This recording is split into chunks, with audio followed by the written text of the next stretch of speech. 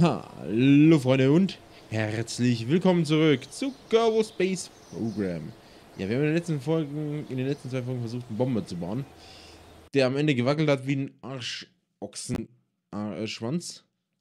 Äh, und heute werden wir mal uns auf kleinere Raketen mal wieder versuchen zu spezialisieren, die aber trotzdem den Orbit schaffen können. Denn wir haben viele große Raketen gemacht, aber ich denke, wir können auch mit kleineren Raketen relativ viel erreichen. Und ich glaube, ich habe mich ein bisschen verzettelt. Deswegen wäre heute meine Idee, äh, einen Satelliten oder eine Rakete zu bauen, die auf kleinere Sachen setzt. Und vor allem würde ich gerne einmal, wo war es denn? Wenn dieses Triebwerk hier sehen, das hier probieren. Das schaut nicht nach einem sehr interessanten Triebwerk aus.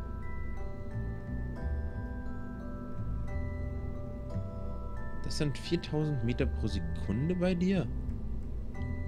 What?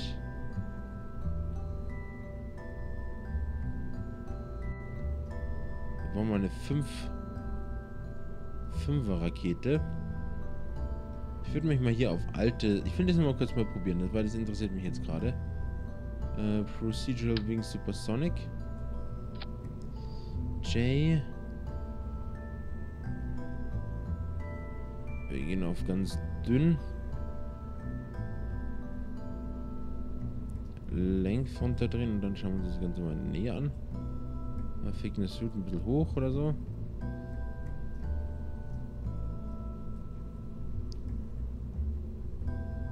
J. Das Triebwerk schaut nicht sehr, sehr interessant aus. Können wir auch noch ein bisschen was reintun. Dann tun wir dich mal leicht rotaten. Und schieben das so rein. Dann kommt noch ein Tipp drauf. Jetzt brauchen wir noch einen passenden Tipp in dem Fall. Dann machen wir die Standard-Tipp drauf oder so. Ein bisschen in der Länge hochdrehen. Und dann setzen wir unten mal eine Halterungsstellen. Dann gehen wir auf Simulieren und schauen wir an, wie heftig dieses Ding fliegt. 4000 Meter pro Sekunde, äh, Meter pro Sekunde hat das. Das ist schon ordentlich. Also das ist echt ordentlich. Erstaunlich. Also, wow, okay.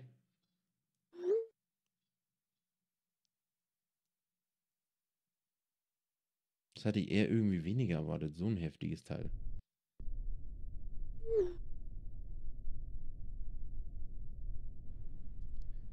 Gut, dann...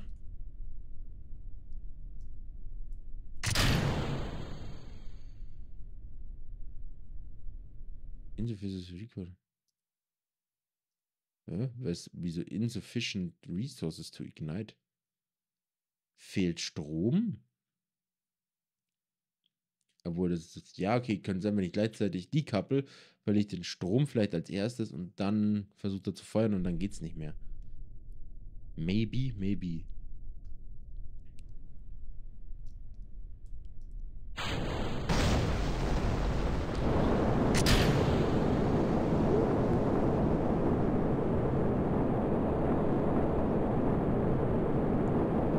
Schaut nicht nach einem sehr interessanten Triebwerk aus.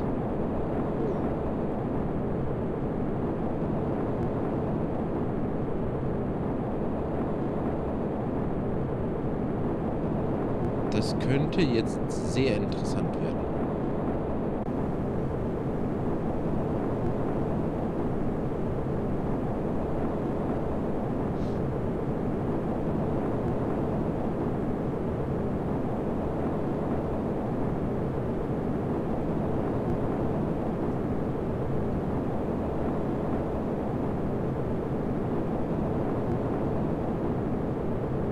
Schauen wir mal, was passiert. Ich bin gespannt.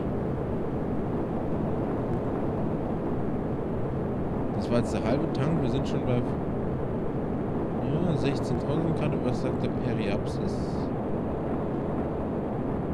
Aber ah, ich darf nichts mehr drücken, weil ich habe hier keine Steuerung mitgenommen.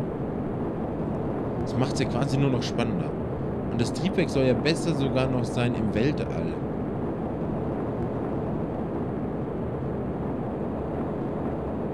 Das finde ich ja umso spannender.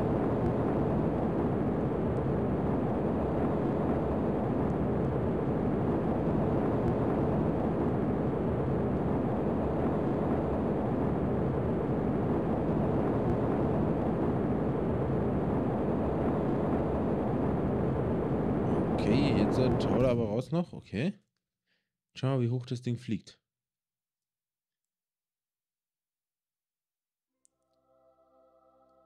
Das war jetzt quasi nur eine brainless Rakete.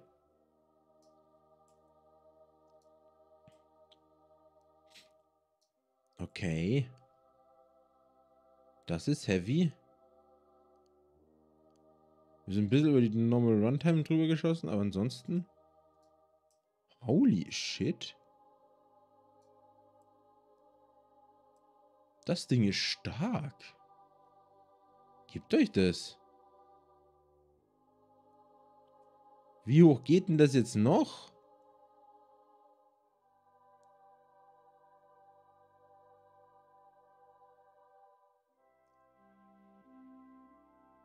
Okay.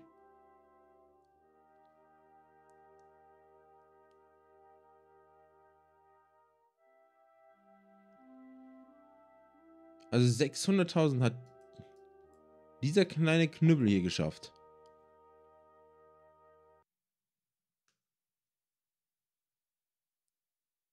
Jetzt müsste er dann gleich umdrehen, denke ich mal. Wäre interessant, wenn er so runterfliegen würde jetzt. Schaut aber sogar so aus. What?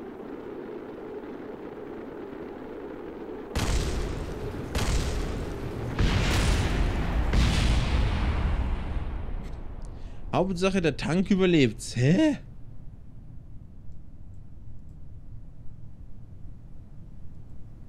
Wie lang wird wie langsam wird so ein Tank? Der rotiert noch sehr, sehr schnell. Wenn du das anschaust, wie schnell der sich rotiert.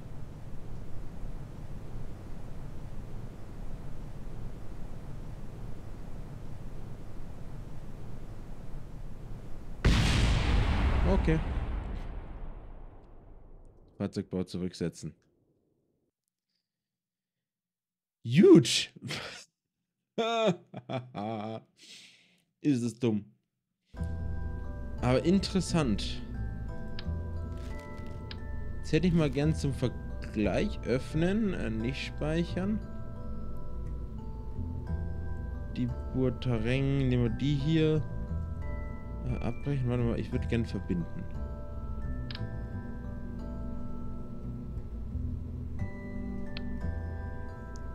Okay, sie ist jetzt auch nicht so wirklich klein im Gegensatz zu dem hier, aber wenn ich mir das so anschaue, neben... Neben den Oberteil... Könnte das sehr, sehr spannend sein. Um Sachen oder Steuerungen hoch in den Orbit zu ballern.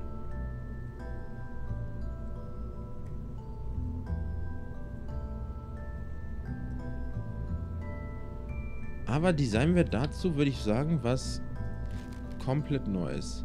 Wir nehmen das als Oberteil. Wie viel hast du hier drin an Gewicht? 6 Tonnen. Also brauchen wir hier eine... Kann ich die anpassen? Nee. Das geht eigentlich auch nur echt die hier, ne? Äh, ich bräuchte für, sagen wir jetzt mal, 7 Tonnen hier eine Steuerung drin.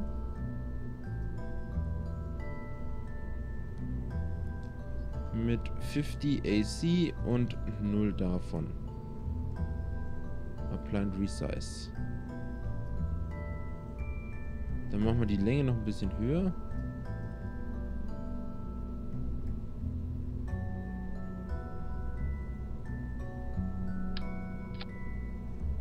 Und wir werden hier rein noch Äh, wo war das hier? Äh, Tank UI. würde ich hier unten nämlich für die erste Testrakete ähm, ACS-Steuerung reinbauen, sozusagen. Die dann damit im Weltraum steuern kann.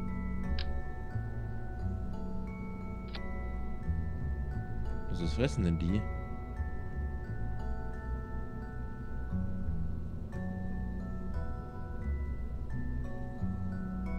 High pressure tanks to function.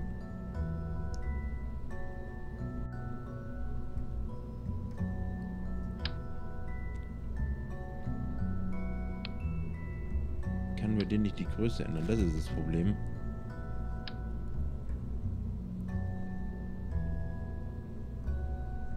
So. Was fressen die jetzt? Kann ich das noch einstellen? Ohne Extras, gekapselt, ohne Extras. So, Engine.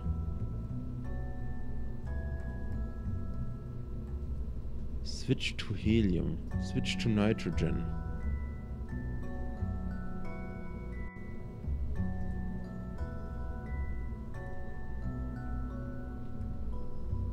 Jetzt haben wir Nitrogen da drin sozusagen.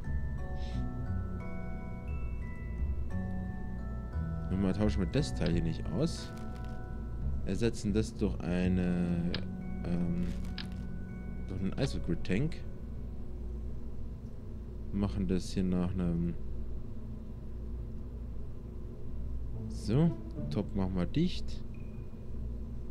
Die Länge drehen wir hoch, dann machen wir da draußen High Pressure Tank.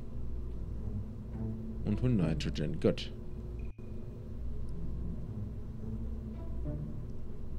Natürlich tauschen wir von hier nach hier, weil das ist jetzt die neue Steuerung. Gut. Dann brauchen wir einen Decoupleur.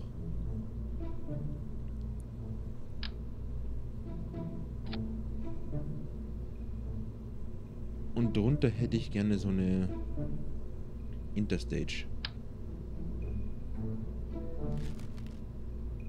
Nein, Thrust, Procedure Firing. Interstage. This node decouples. Also ich würde Base auch auf 2 Meter runtersetzen. Dann die Height ein bisschen runterdrehen. Oder? So bisschen hoch wieder.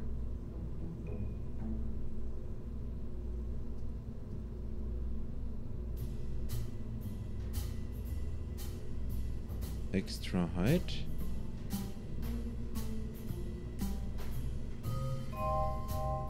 Wenn ich dann hier eine Fairing Recoverable äh, drum mache, kann ich hier den Top noch einstellen. Perfekt.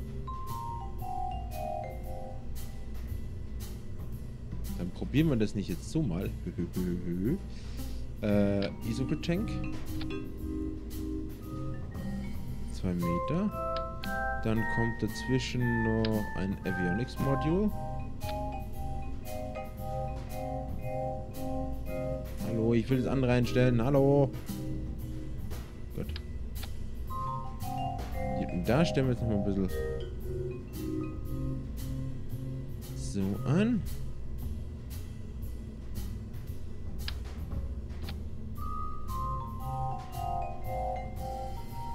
Finde ich jetzt zum Beispiel schon gut.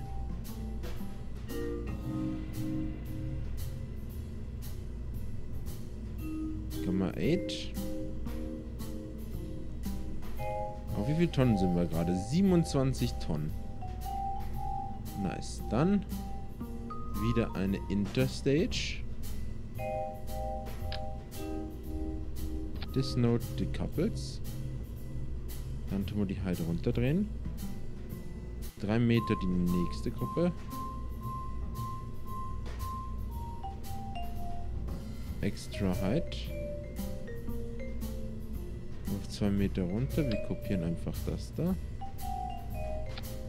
Zack. Und hier setzen wir dann noch eine Stage ein. Isogrid. Drei Meter.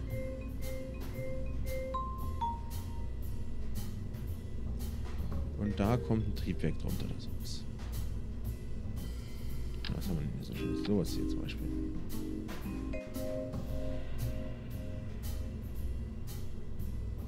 Aber schon unlocked. Was kostet denn jetzt schon wieder so viel zum Unlocken? Du hier oder was? Ich hätte ihn noch gar nicht unlocked. Okay, dann setze ich das drunter.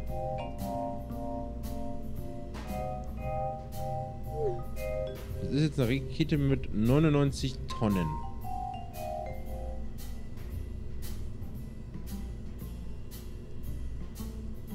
Neunundneunzig Tonnen, das ist schon annehmbar eigentlich. Es kriegt natürlich jetzt noch Flippy Flaps und alles. Zur verbesserten Steuerung. Der Steuerungscomputer wiederum hier oben soll auf 100 Tonnen ausgesetzt werden mit 500 EC, 500 habe ich gesagt, und eins davon. Apply and Resize, gut. Jetzt bist du für die 100 Tonnen ausgelegt, richtig? Richtig, gut. Jetzt sind es 101 Tonnen. Ach, dann halt 110 Tonnen, ist doch wurscht. Resize to fit, gut.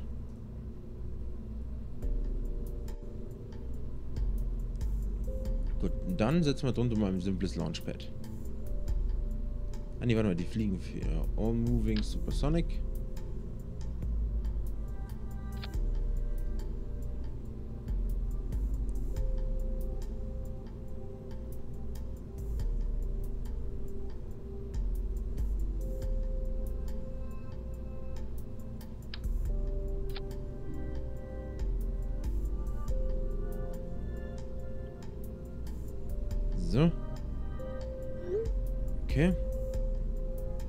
Relativ simpel das Ganze. Gut, okay. Äh, Startrampe, Startrampe, Startrampe, Startrampe. Wo sind die wieder? Ich verliere verlier die immer. Gut, dann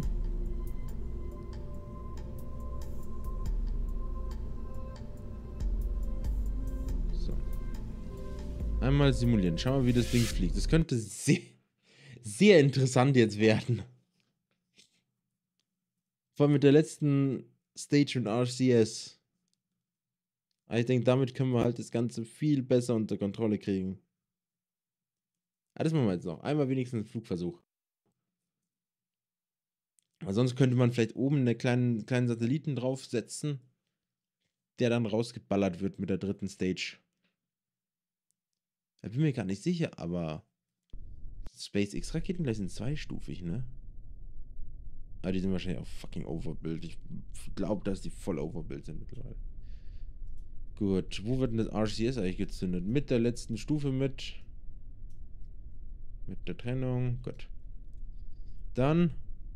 Let's do this.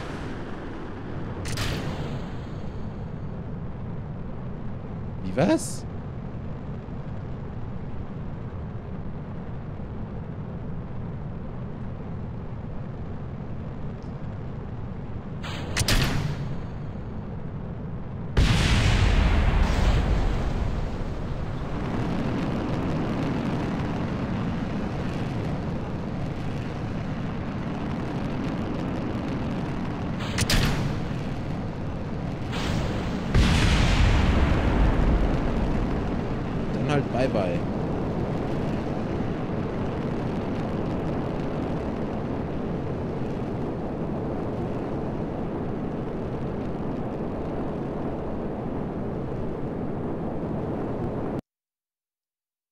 Okay, okay, okay, okay. Ich hab's verstanden. Ich muss noch weiter optimieren. Ist gut, ist gut. Ihr habt da, das wäre simpler. Wie dumm war das denn? Okay. Das war unerwartet. Aber ich hätte auch vielleicht hier hingucken können. Dann, ne, da steht's ja. Ich glaube, wir wollen zwei Triebwerke von dir. Oder gibt es Triebwerke, die da besser für geeignet sind in dem Fall? Du hast 600 im Vakuum, 500 so.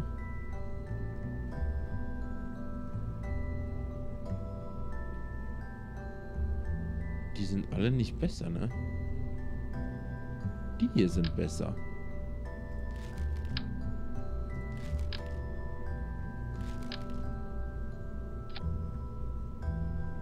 Wenn ich dich hier drunter pack, sind wir schon eher dran. Heilige Scheiße. Aber dann müssten wir die ganzen Tank wieder verkleinern, ne? Da hier mit da. Dann wir auf 2,5 mal runter, würde ich sagen. Dann können wir die Base jetzt auch auf 2,5 runtersetzen. Dann schaut das Ganze schon besser aus. Aber Leute, ich würde sagen, wir nennen das mal The Spear oder sowas. The Spear. Speichern das und ich würde sagen, wir sehen uns beim nächsten Mal wieder. Dann werden wir The Spear mal starten. Schauen, wie weit die Rakete kommt. Insgesamt hat die wie viel? Eigentlich zu wenig, ne? Eigentlich zu wenig, wie es ausschaut. Aber ich hoffe mal, dass wir es trotzdem hinkriegen könnten, weil oben hätten wir fast 4000 Meter pro Sekunde im Vakuum. Aber ja, das wird man alles sehen. Ich hoffe, es gefallen. Wenn ja, lasst einen Daumen nach oben da, abonniert, wenn ihr noch nicht habt. Und wir sehen uns beim nächsten Mal. Also bis dann. Ciao.